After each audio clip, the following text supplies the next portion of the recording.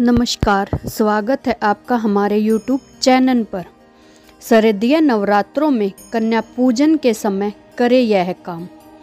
भक्तों, हिंदू धर्म में नवरात्रों का एक अलग ही महत्व माना गया है। इस साल की शरदीय नवरात्रे 15 अक्टूबर से आरंभ हो चुके हैं और 23 अक्टूबर को समाप्त होगी। नवरात्रों के नौ दिनों के दौरान माता नौ रूपों के रूप में विधि विधान से पूजा की जाती है।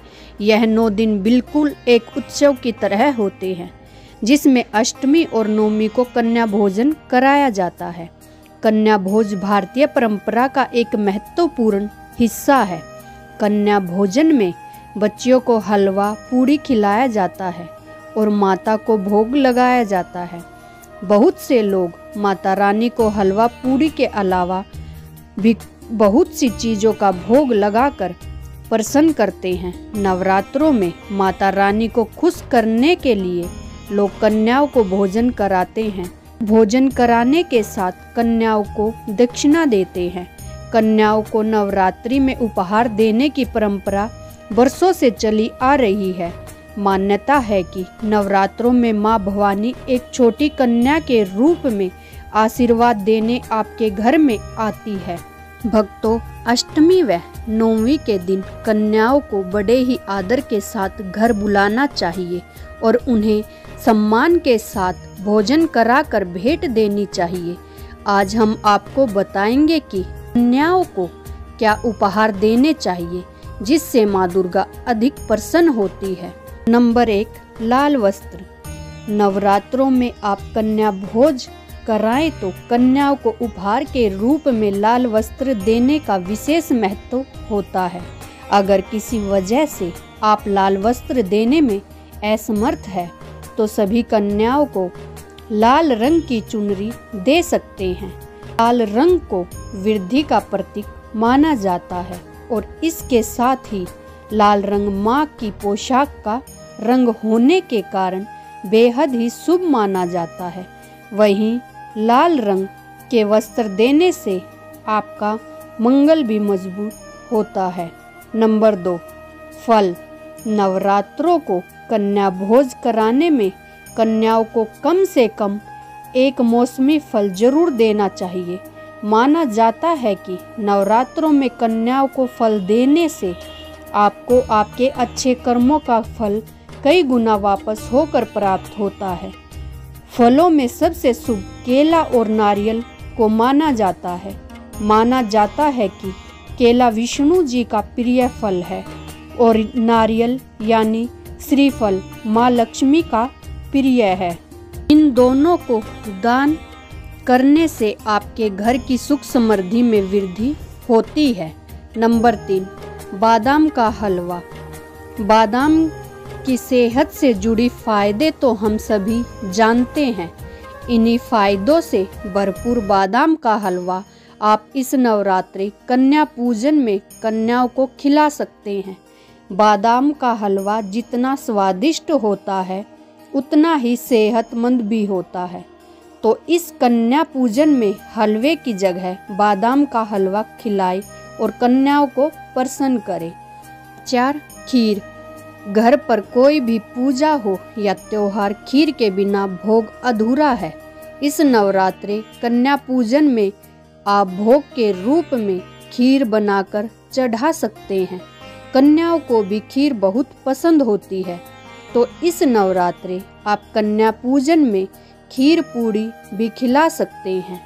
नंबर पाँच, मिठाइयाँ। मिठाई प्रेमियों की सबसे पसंदी मिठाई बर्फ़ी है। यह त्योहार पर जो बनाई ही जाती है, लेकिन आप इसे माता को भोग के रूप में भी चढ़ा सकते हैं। कन्या भोज में हलवा पूरी के साथ बर्फ़ी खिलाएँगे तो कन्या खुश हो जाएँगी। नंबर छः मिठाई। कन्या भोज को कराने के लिए आपको कम से कम एक मिठाई भी शामिल करनी चाहिए। अगर कोई वजह से आप मिष्ठान शामिल न कर सके तो घर में साफ़ सुथरे ढंग से बनाया हुआ सूजी का या फिर आटे का हलवा भी माता रानी को भोग लगाकर कन्याओं को खिला सकते हैं। ऐसा करने से आपके गुरु ग्रह की मजबूती बढ़ती है और माँ भगवती भी आपसे प्रसन्न होगी। नंबर आठ, श्रृंगार सामग्री। नवरात्रों में कन्या भोज कराने के बाद भेंट में कन्याओं को श्रृंगार की सामग्री भी उपहार में दे सकते हैं।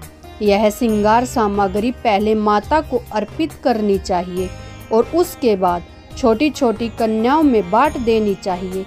मान्यता है कि कन्याओं द्वारा ग्रहण की गई श्रृंगार सामग्री सीधे माता द्वारा स्वीकार कर ली जाती है। परनु सिक्के, नवरात्रों में कन्याओं को विदा करते समय उन्हें दक्षिणा के स्वरूप कुछ रुपए पैसे भी ज़रूर देना चाहिए। ऐसा करने से माँ लक्ष्मी आप पर प्रसन्न होती है और आपके भंडार भर देती है। हो सके तो कन्याओं को अपनी समर्थ्य के अनुसार 11 या 21 या फिर इक्यावन रुपये देने चाहिए।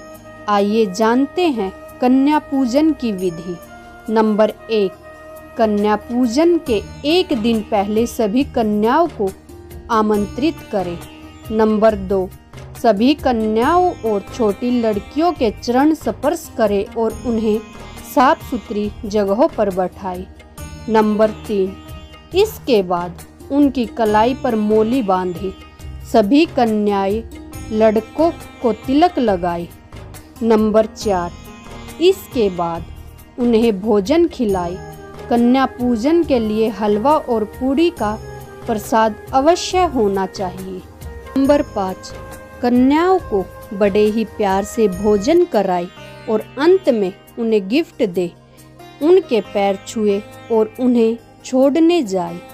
अगर आपको हमारी यह जानकारी अच्छी लगे तो वीडियो को लाइक कीजिए, शेयर कीजिए और चैनल को सब्सक्राइब कीजिए और यदि आप भी माता के सच्चे भक्त हैं तो कमेंट में जय माता दी अवश्य लिखें।